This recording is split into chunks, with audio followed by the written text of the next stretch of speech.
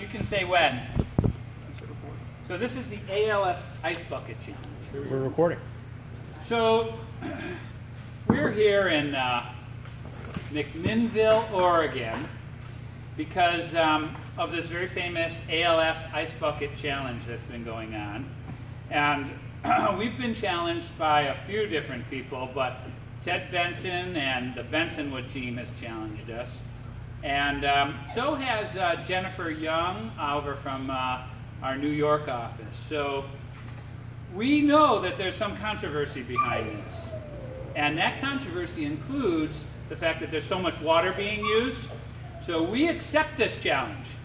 And we're going to put in a small twist in it as only woodworkers would do. So here's our challenge. Me and my coworkers, ready, go!